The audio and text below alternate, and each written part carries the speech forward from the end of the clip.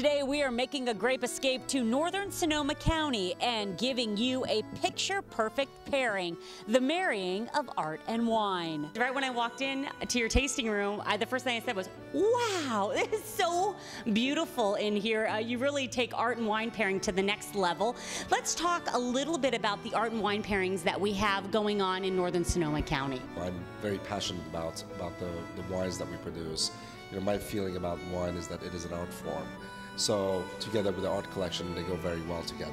We are uh, featuring a local Sonoma artist named Colin Lambert, who does these lovely, very beautiful figurative sculptures. I love figurative art, and as you can tell from the art collection that we have, we think it's a very nice match for what we're doing here. Speaking of figures, I've seen a lot of figures in here, specifically some female figures. The piece on the wall is a piece by Nathan Oliveira, who's one of the great uh, contemporary artists. Unfortunately, Nathan died the month before we bottled the wine, so we never got a chance to uh, to taste the wine. With some of the art that I've collected over the years, I have uh, gotten the copyright permission to produce as part of a wine label. So if you pick up a bottle of that cab, you're going to get art in the bottle and art on the bottle. That's right. We're deep into the art. We're deep into the art for sure.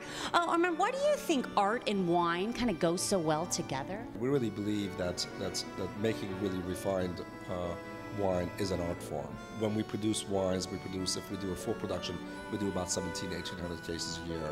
So at that level, everything is artisanal and handcrafted. So very much akin to art. To me, uh, um, you know, making wine is all about making art. The wines age really beautifully, so we really are patient with holding on to our inventory, and the resulting wine is this gorgeous aged Zinfandel, which is really quite beautiful layers on layers of fruit, a high level of acidity to be able to be matched with a variety of food.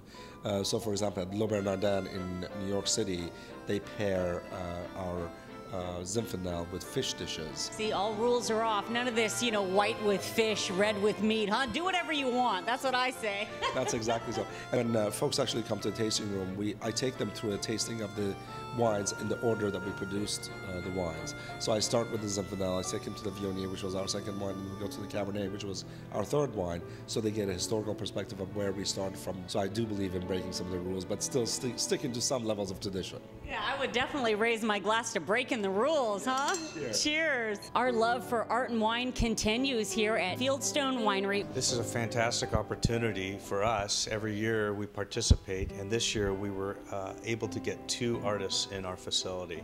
We have both Dennis Bolt and Stacy Lowe. Dennis doing aluminum art and Stacy Lowe doing some of her fantastic um, sterling jewelry. You guys have a rich history here. Why don't you give us a little background on the winery, Jason? Well, the uh, winery was established in 1976 by Wallace Johnson. He was the mayor of Berkeley in the mid 60s. Wally unfortunately passed away three years after he established the winery, so his daughter Katrina and her husband John Staten were the only two interested uh, siblings that wanted to carry on the family legacy. You guys have a really neat history as far as the vines go. You have some vines, oh, almost 120 years old. That is correct. Our Petite Sirah is 118 years old. It's one of the oldest Petite Sirah vines in the world still producing. Uh, we're getting about five tons per acre. Do you think 118 year old vines taste better than younger vines? Absolutely. You get more depth and character and flavor and color out of these vines. That's what I keep telling people. The older I get, the more depth and character I get, right? Absolutely. and you guys have another really neat claim to fame here. If anyone remembers those Bartles and James commercials, I know I do. For three years, they were on the property doing the commercials up on our own farmhouse. One of the commercials actually has our uh, rosé of Petite Sirah in, in the uh, wine cooler glass. And then you guys have something really cool that I noticed when I came in here. You have a bottle of Stanford wine. What's that all about? We do. We do some custom etched bottles for some of the college uh, teams, and they're very popular here. Uh, the Stanford is, of course, one of our most popular. So, do you have to go, have gone to Stanford in order to drink the wine? Absolutely not. Do you feel smarter when you drink it? I think so.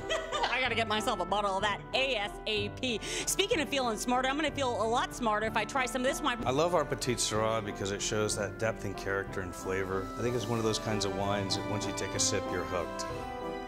I'm hooked.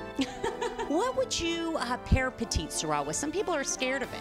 It's a hard wine to pair sometimes because they're so big, but uh, it's great with barbecued foods. Uh, it's excellent with lamb. Lamb goes really well with Petite Sirah, and you know what else goes really well with Petite Sirah?